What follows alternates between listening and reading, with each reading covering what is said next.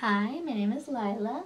I'm from Kitty Charm School and I'm a Kitty Charm School worshiper and I'm here with Kiki and she came down from the skybox to see me.